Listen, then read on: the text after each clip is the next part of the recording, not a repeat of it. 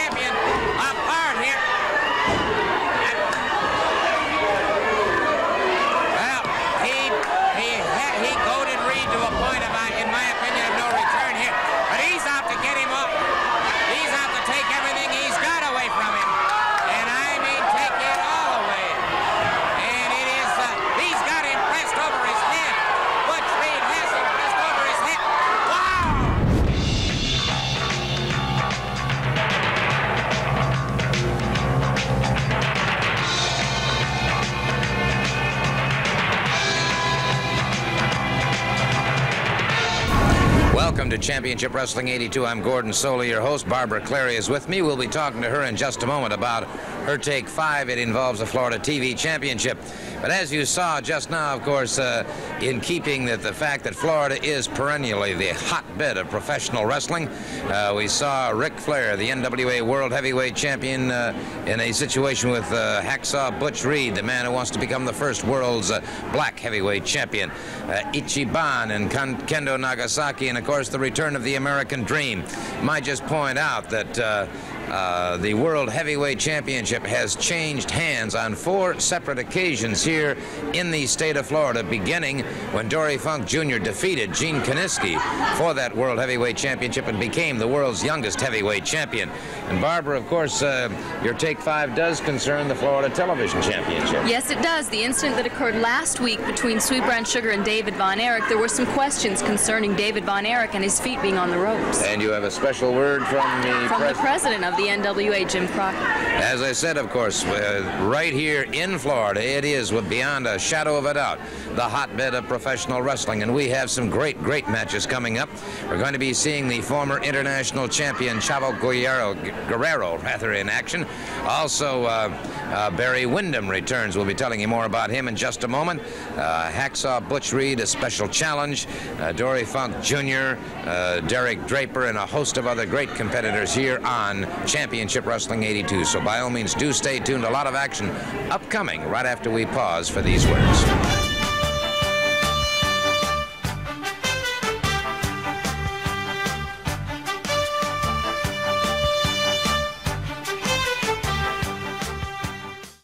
You know, we said, of course, that Florida is the hotbed of wrestling. I might point out Mike Graham returns to action today.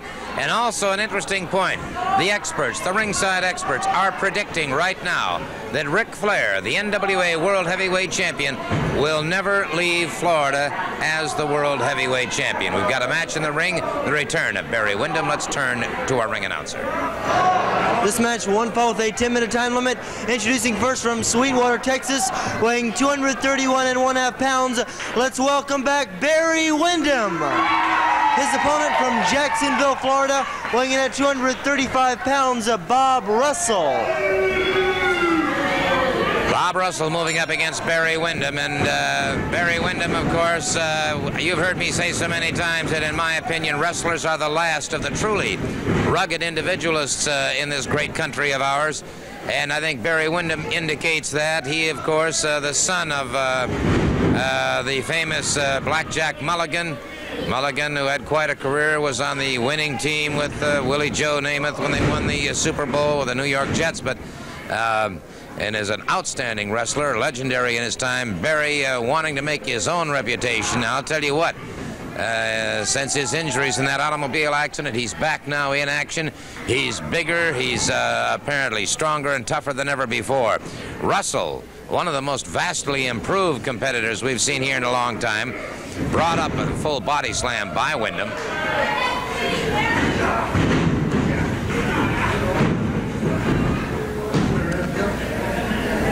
Barry uh, turned professional at a very young age and wanted to make it on his own. Did not want to uh, go on any reputation whatsoever and uh, has done exceptionally well. Into those ring ropes. Russell is a man to be watched, and Barry is uh, very, very cautious as he uh, watched Russell back out.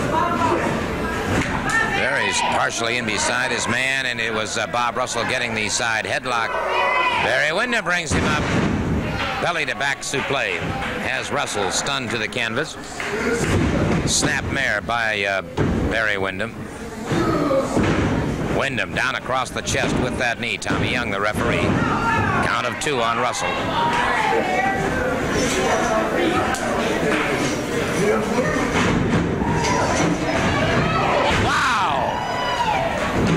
Barry caught him. And Russell came out of that, and I sure didn't expect that. Barry Windham caught him with it again, charges in again, and uh, Windham has that electricity about him. Into the Bulldog. Russell smashed into the canvas.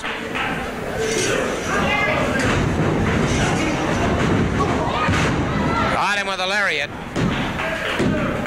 Hooked the far leg, had the lariat, and a fine victory and a good return for Barry Windham. Well, this past week, Reggie Jackson returned to New York and Yankee Stadium, but as a Los Angeles Dodger.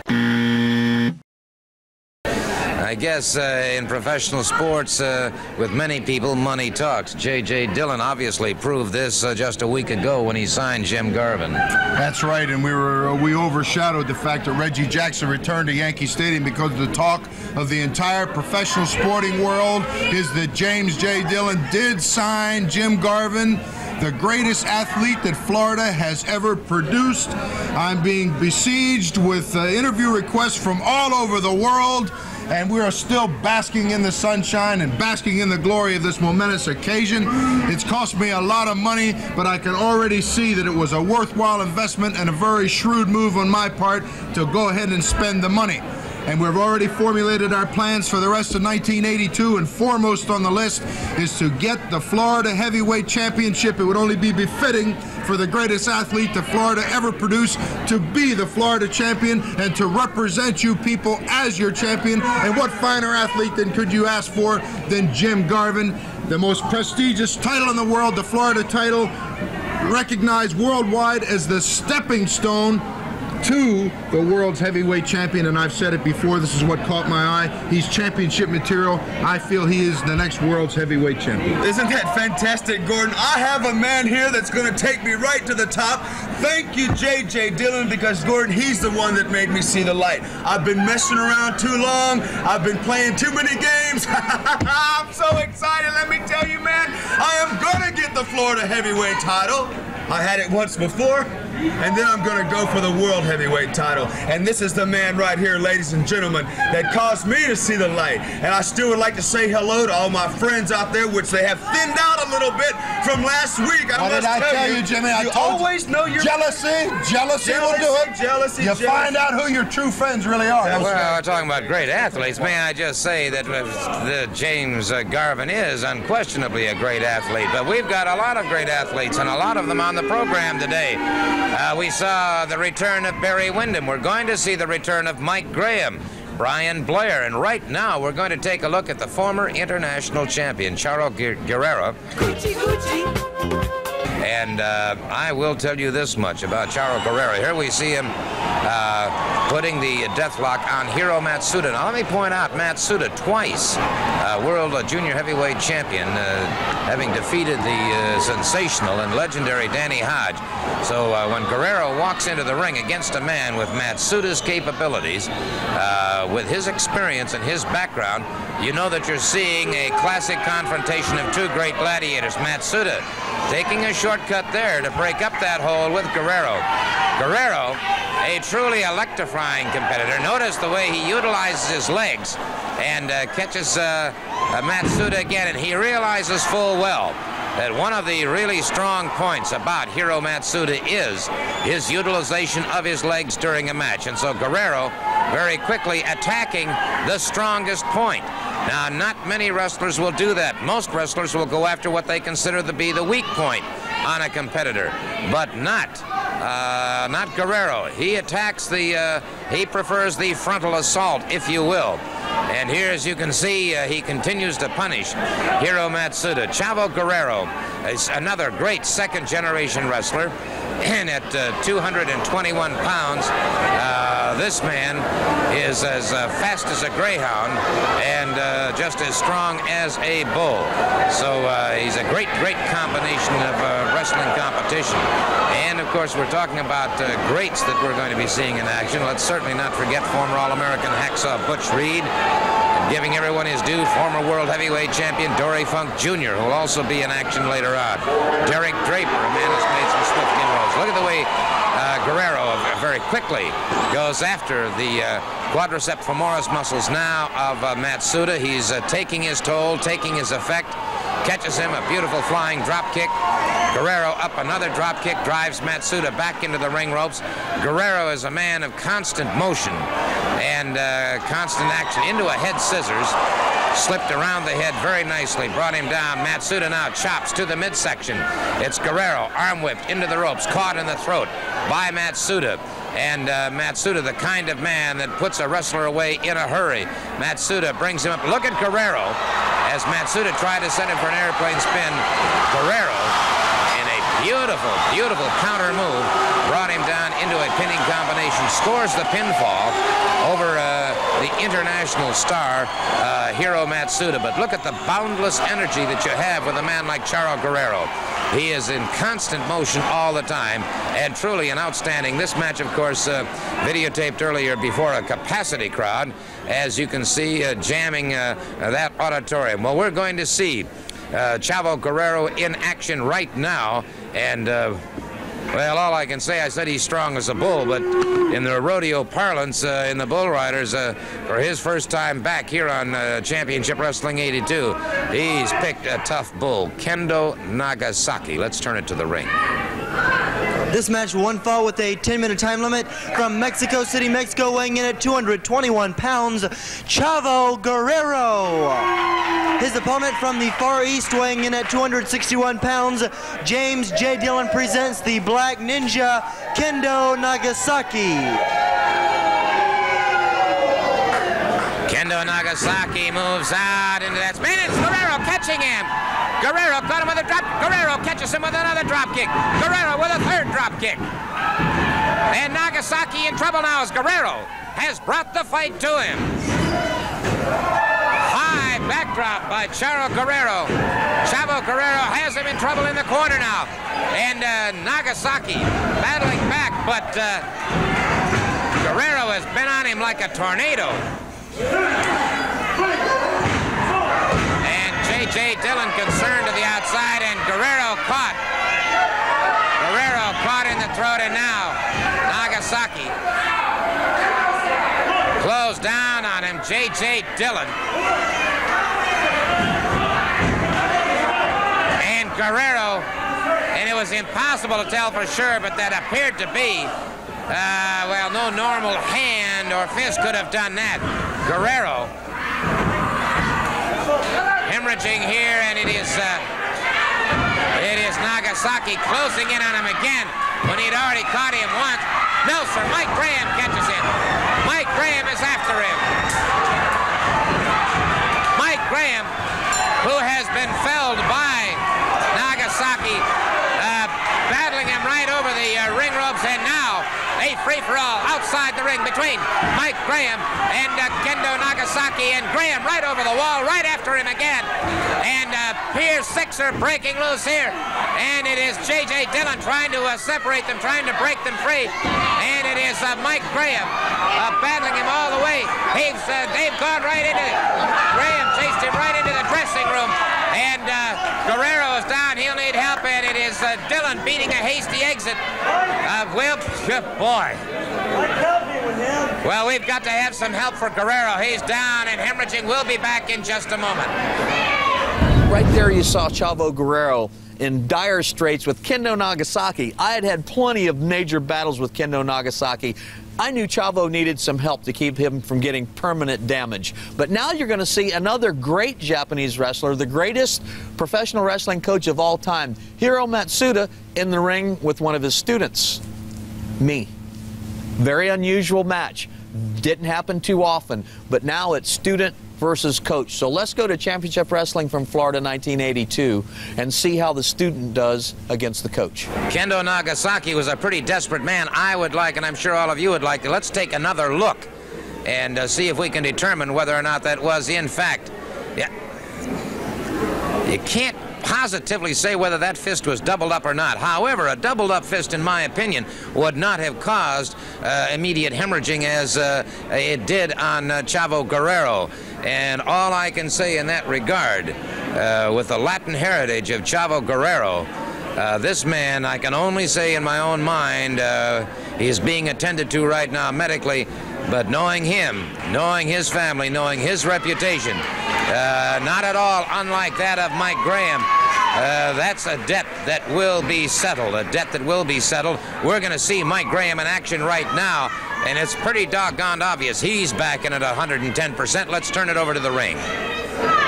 This match one fall with a 10 minute time limit from Tampa, Florida, weighing 219 pounds, Mike Graham. His partner also from Tampa, weighing in at 231 pounds, Brian Blair. Their opponents from Yokohama, Japan, weighing 225 pounds, Hiro Matsuda. And from parts unknown, weight unknown, the Super Destroyer.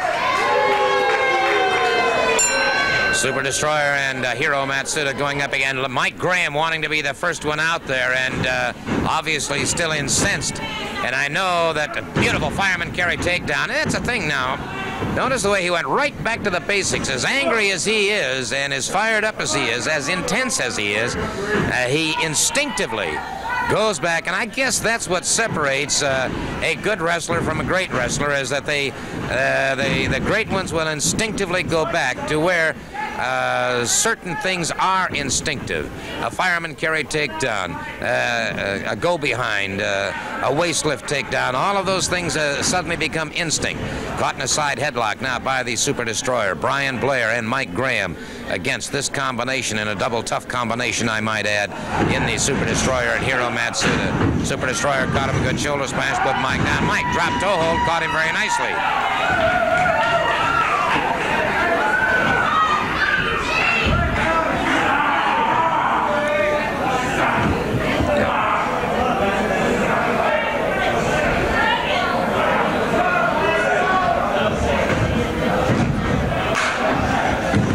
Brian Blair moving in now. You know, it's, it's really interesting, too, to watch uh, these two in action. I'm referring, of course, to Brian Blair and Mike Graham. Uh, they have a natural affinity for uh, uh, to complement each other's uh, methodology in the ring.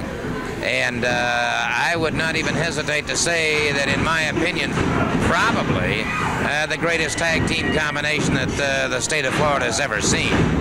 They are indeed a double tough combination, but they are facing one right now in the Super Destroyer and Hiro Matsuda. The Super Destroyer, an unknown uh, quantity, but uh, certainly not an unknown quality. At this point in the match, he has proven himself to be uh, as tough as they come. Mike Graham, notice the way uh, Graham has also that capability. Once he's outside the ring, uh, he has trained himself mentally and physically to where he utilizes every possible second when he's outside the ring to give his body as much rest as possible. Tag is made. Hiro Matsuda moves in.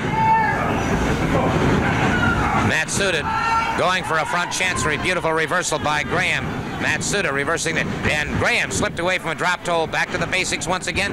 A good back out by Matsuda, but he left an arm exposed, and Graham very quickly picked up that arm and uh, just pulled him forward to the mat. Matsuda had gotten himself uh, backing out. He saw with uh, Graham going in for the double leg dive, tried the back out, got himself slightly off balance. Graham, wow, beautiful bridge and drop by uh, Matsuda that took Graham to the canvas. Graham very quickly powers out. There's Graham back again, single leg pickup. Now punishing those femoris muscles. And it's Matsuda hooking an arm, and so uh, Matsuda turning it to his own advantage. Two great counter competitors, and both men extremely aggressive. Tag is made. Super Destroyer moves in. Super Destroyer forearm across the back. Another. Graham caught, rocked slightly that time with a forearm to the side of the jaw. And the crowd very quickly picking up the chant, go Mike, go. Brian Blair reaching out, hoping to make the tag. Brian Blair and Mike Graham, both from Tampa, Florida. Blair graduating from uh, Tampa Bay Tech. Mike graduating from Robinson. Both went on then uh, into college. Mike to the University of Tampa and uh, Brian to the University of Louisville. Matsuda makes the tag, moves in against uh, Mike Graham. Barring the arm over the shoulder, catching that wrist, and uh, that can uh, raise havoc with those deltoids. And Graham withstanding tremendous pressure and pain here. Once again, the tag is made. The Super Destroyer moves in, catches Graham. Bars the arm. Graham trying to make the tag. Desperate long reach, but uh,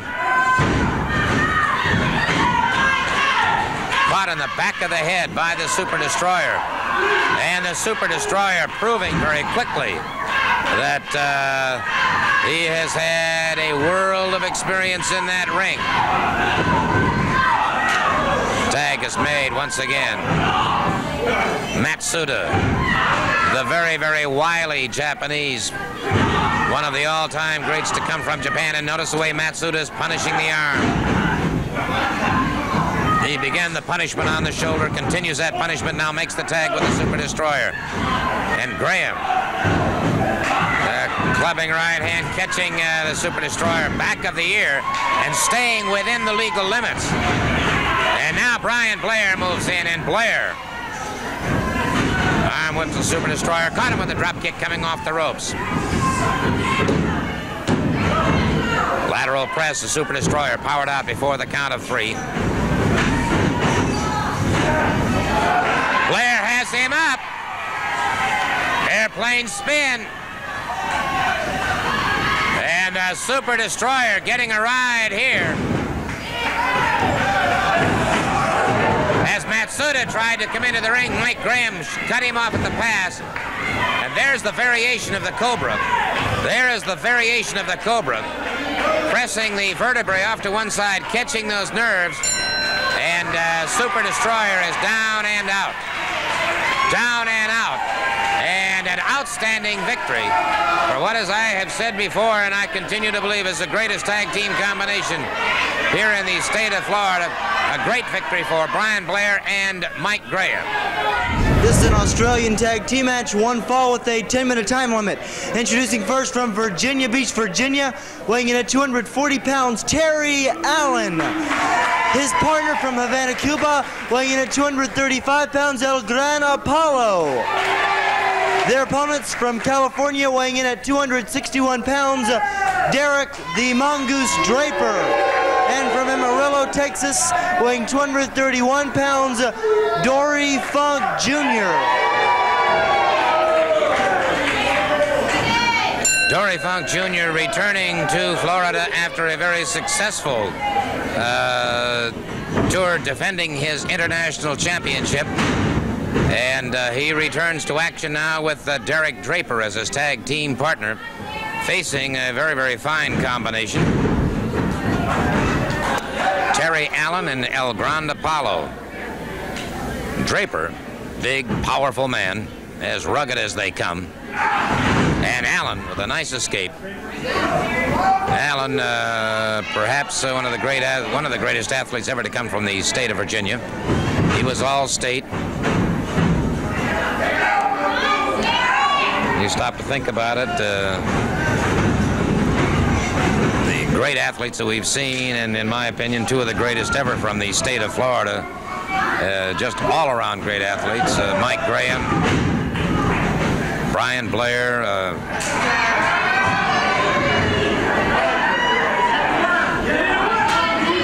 Both men multi-talented.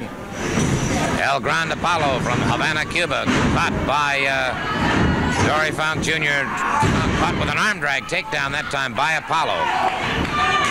Apollo has a fiery temper,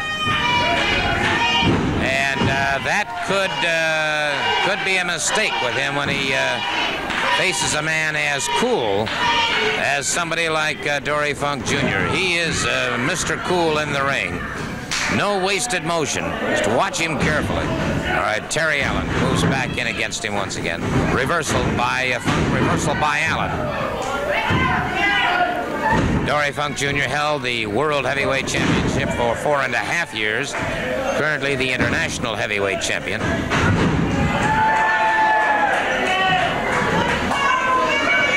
Funk very rarely changes expression while he's in a match. And it's difficult, extremely difficult. I've talked to a lot of wrestlers who have said you can't tell if you've hurt the man or what's happened. Oh, there he uncorks that uh, forearm that he is so famous for that staggered Allen. He makes the tag with Draper. Derek Draper moves in.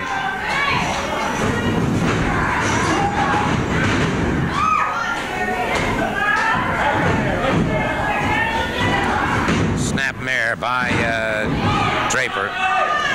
As Terry Allen. Fires to the midsection. Almost a kidney punch that time as Allen tiring of some of the tactics of Draper.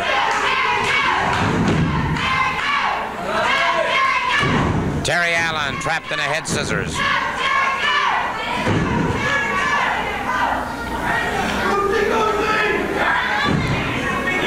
Good bridge by. Allen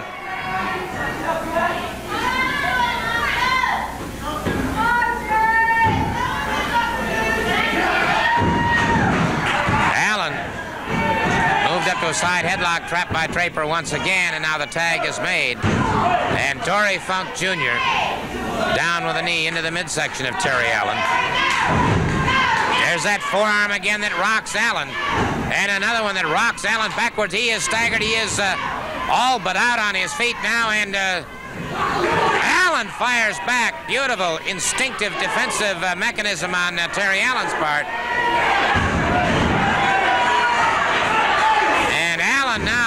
With everything he's got.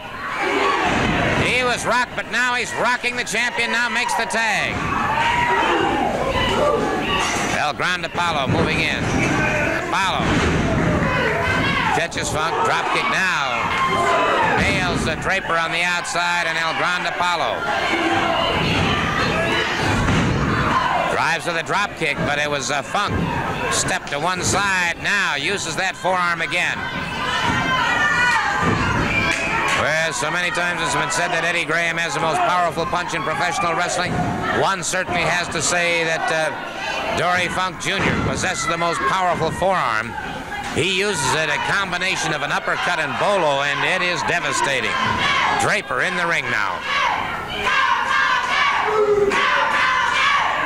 Chinlock on El Grande Apollo.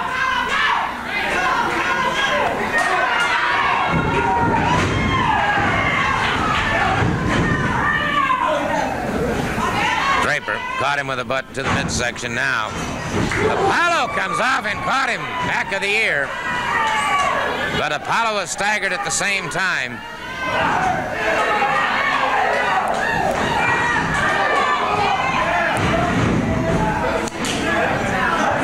Special hi to Alan Jane Witter, watching the matches now, my good friend John McGinn. Deep double underhook by Funk into a suplex, and Apollo came out of it. Apollo, great, great second effort. Now Funk sets him for the pile driver. That jams the vertebrae. And again, Apollo in a superhuman effort comes out.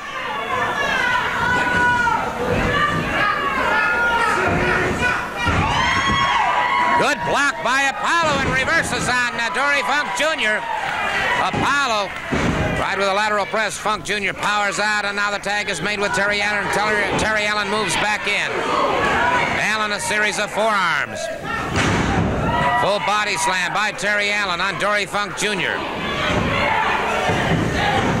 Funk into those far turnbuckles.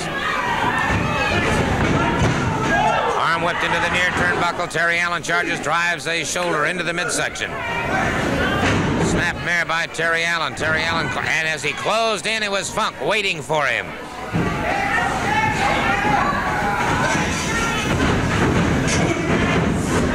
And it's Terry Allen going for the sleeper hold.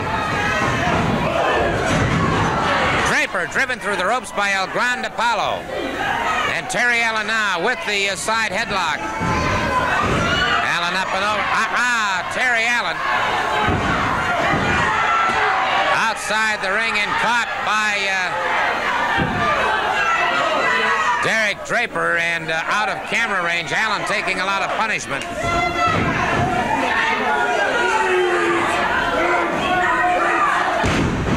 High vertical suplex. Count of three, a count of three, but Allen had taken a lot of punishment outside the ring by Derek Draper, and it is El Grande Apollo lending assistance, and the victory goes to Dory Funk Jr. and Derek Draper. Last week, an incident occurred between David Von Erich and Sweet Brown Sugar over the Florida television title. It seemed that there qu was question as to whether David Von Erich's legs were on the ropes. Why don't we take another look at that incident to see? And it is Sweet Brown Sugar. The high hip toss as Von Erich and caught him with a beautiful flying drop kick. As Von Erich, all but out on his feet, catches him once again. Von Erich trying to get it together now. Sweet Brown Sugar uncorks a 105 howitzer at David Von Erich. And Von Erich has got to be in trouble here. Sugar has him up once again. The Florida TV title on the line. And Von Erich tripped him up that time. Well, as you could see, David Von Erich's legs were on the rope, but as in other professional sports, the instant replay cannot change the decision of the referee, so David Von Erich does still hold the title. The president of the NWA, Jim Crockett's had some comments to make about this. Let's listen to those. Fans, we have with us the president of the National Wrestling Alliance, Jim Crockett, with a prepared statement for you. To the wrestling fans in Florida, I reviewed the match on videotape between David Von Erich and Sweet Brown Sugar for the Florida Television Championship that was viewed on this program last week. Referee Tommy Young had the videotape sent to me as a result of a protest filed by Sweet Brown Sugar. Following the decision, which was given to Von Erich, and the subsequent awarding of the championship trophy presented to the new champion. In looking at the tape, Sweet Brown Sugar's shoulders were down for the three count. It was also obvious that at the same time Von Erich's feet were on the ropes, which gave him the added leverage. In defense of the referee, he was not in a position to see the feet on the ropes and had no choice but to give the match to Von Erich at the time. As is the policy with all sporting events, I do not have the power to use a videotape replay to second guess the referee or any way alter a decision that has already been made. However, as president of the National Wrestling Alliance, I do have the authority to order a rematch, and a rematch is hereby ordered between David Von Erich and Sweet Brown Sugar. Thank you, Jim Crockett. As you heard, the president of the NWA has ordered a rematch, so that will be very interesting to see the outcome of that. In a few minutes, we'll be seeing a special challenge match. Hacksaw Butch Reed has challenged David Von Erich. That's our take five for this week. David Von Erich has the kind of personality that I guess just about everybody wants a little of him. And uh, Hacksaw Butch Reed, a very close personal friend of Sweet Brown Sugar, very upset over uh, what happened, has challenged David Von Erich. And so there you see Von Erich carrying the uh, television uh, TV title trophy. He's also wearing the Southern belt. Let's turn it over to our ring announcer.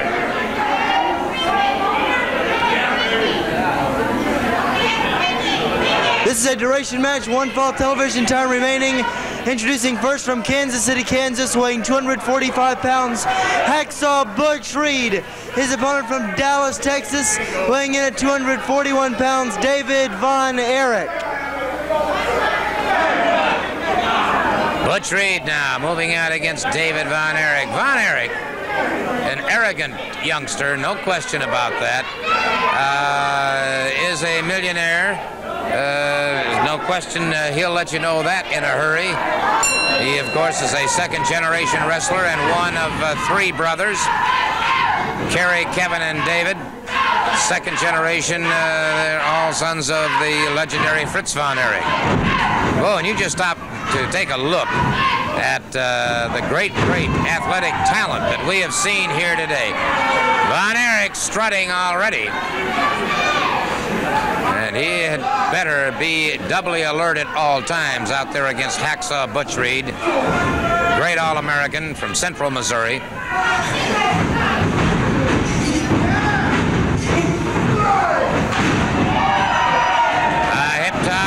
Good arm drag takedown by uh, Hacksaw Butch Reed.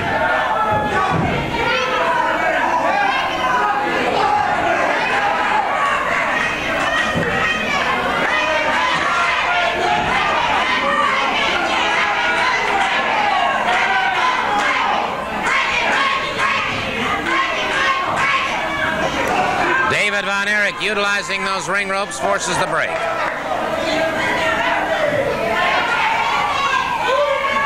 And Von Erich very quick to give himself credit for uh, what he assumes to be great thinking on his part.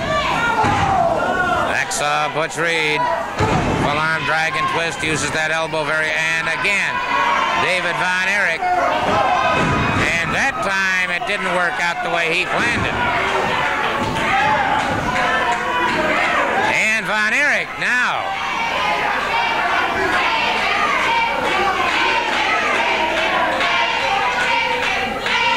One has to give him credit as being a ring general. He knows how to uh, break a stride of a competitor, break a momentum, break a rhythm, if you will. Good move by Reed.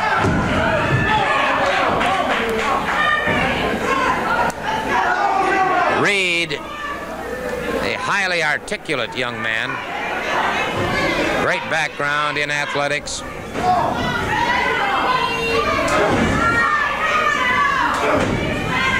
He was with the Kansas City Chiefs. Caught him with a beautiful shoulder smash, that time up and over his man. And as David Von Erich got up, it was Hacksaw Butch Reed right on top of it. Hip lock takedown.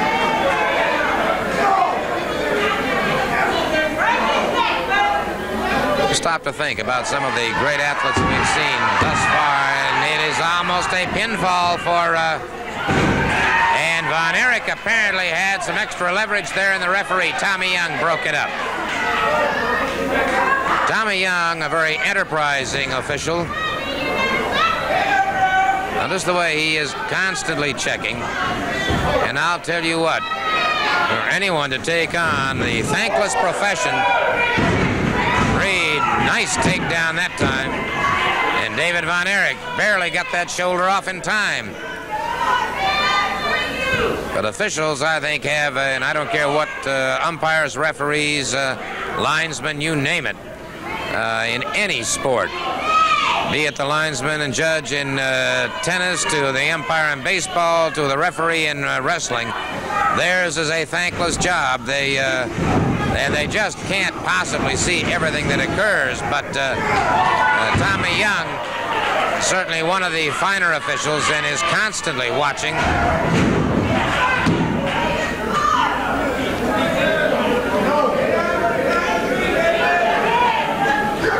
Side headlock now by uh, Butch Reed. David Von Erich to the canvas. So Von Erich Reed thus far in a very, very even match. And when I talk about great athletes, uh, let me not take a thing away from such outstanding athletes as uh, uh, when we saw Dory Funk Jr. in action, uh, Derek Draper, this young man, David Von Erich, uh, Jim Garvin. I would have to dispute uh, Mr. Dillon's comment about uh, the greatest athlete that Florida's ever produced. I would certainly think that uh, that could go either to uh, Mike Graham, uh, Brian Blair, uh, either one of these. Uh, certainly, woo! Von Erich caught him in the throat that time, and it is Butch Reed smashed into that turnbuckle. Referee warning him about his tactics. Lashed out with a fist to the head. Snap mare by David Von Erich into a rear chin lock on Butch Reed.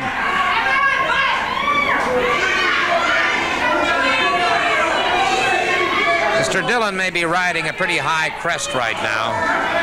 But I'll guarantee you, wrestling two for one is not going to uh, uh, roll over and play uh, dead for uh, Jim Garvin. If Garvin wants that Florida Heavyweight Championship, he will have to earn it because wrestling two will show him the way to go. And as I said, the experts predicting that uh, Ric Flair will never leave the state of Florida with the NWA World Heavyweight Championship belt. Sweet Brown Sugar will get his rematch with David Von Erich for the Florida TV title. Chavo Guerrero, I am sure, is seeking vengeance on Kendo Nagasaki, as is Mike Graham. So a lot of action. That's all the time this week. Till next week, so long.